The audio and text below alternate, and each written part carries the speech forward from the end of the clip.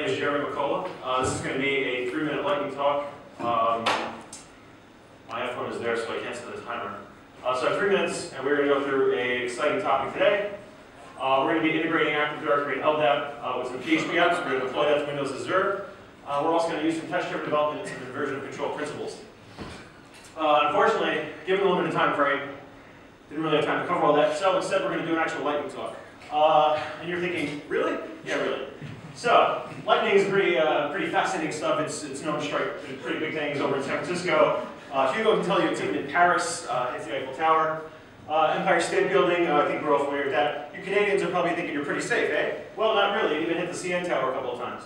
Uh, and then lightning also pretty much hates liberty, so it's, it's not sure you can uh, liberty yourself. So you're thinking, hmm, this lightning is pretty fascinating stuff, right? Um, so how big is it uh, actually? Um, is it magical? No, it's, it's actually just an atmospheric phenomenon. Uh, so we, we started making study, we're scientists, right? So let's figure out how powerful is lightning. It's approximately 1.21 gigawatts.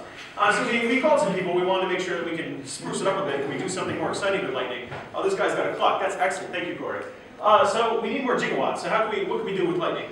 So we, uh, we went down to the lab, we took some vinegar, we took some baking soda, and made ourselves a volcano. And then we went out to the volcano and started erupting, so things were getting pretty hairy. And the lightning came by. It was like, holy shit, now we got this big lightning storm going on. It's got volcanic lightning. That's pretty exciting. So you're wondering how much damage is lightning do? It's approximately three points of damage, but sometimes it's six points of damage. You gotta watch out for that trample damage, especially if you're a low-power creature. Uh, and lightning was also involved in the Battle of uh, 18, I think it was uh, 75. You'll have to cite me on that. I can check Wikipedia. Uh, but here we had uh, Zeus and uh, this guy on the right, Benjamin Franklin, was fighting uh, with some lightning there. It's also been used by some very terroristic cats and scared some of the other cats that didn't have the power of lightning. so you're thinking, well, how can I protect myself from lightning? I don't, I don't want to get tased. So instead, we consulted the Environmental Safety Board of Canada, and they told us about some tips that we can prevent lightning damage to ourselves. Uh, we also consulted the Hitchhiker's Guide to the Galaxy and brought our towels along because there's some good tips in there as well. Uh, so one of the main things you don't want to do is you don't want to stand outside with an umbrella with lightning storm. That's probably a good reason to get hit. You also don't want to stand under trees because you're going to be inviting some damage there. Uh, additionally, telephone booths, probably a bad idea unless it's a TARDIS, in which case you can travel back in time before the lightning hits you. Uh, so that was great. Thanks Douglas Adams for the Hitchhiker's Guide, and we got some good tips there to save ourselves. So what, were, uh, what are the odds that I'm actually getting struck by lightning? It's approximately 1 in a million uh, or in this case infinity, so you're probably not going to get struck by lightning, but still the odds are more so than you're going to actually win the lottery. Uh, so since we're not playing the lottery and hopefully not going to get struck by lightning, let's focus on some of the brighter points of lightning. So what can, what can lightning actually do for us? Is it a friendly lightning? Uh, so we go right to Pikachu, and that's a pretty lovable character, a lot of stuffed animals, things like that. There's also Snorlax, which is vulnerable to lightning. These guys get along great, so there's a, a nicer side of lightning. Uh, so additionally, uh, Tesla, we keep coming back to this guy because he's quite a genius working with this technology.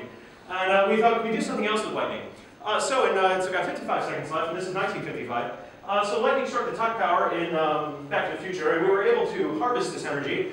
Uh, Doc Brown came back again, he connected to some things, we were able to get this car and we went back in time. Similar to the TARDIS, but a slightly different vehicle. So in this case, this is excellent. We can do all these things with lightning, we can go back in time. So, moving right along, Tesla came out again. He was like, can I harvest this lightning to do anything special?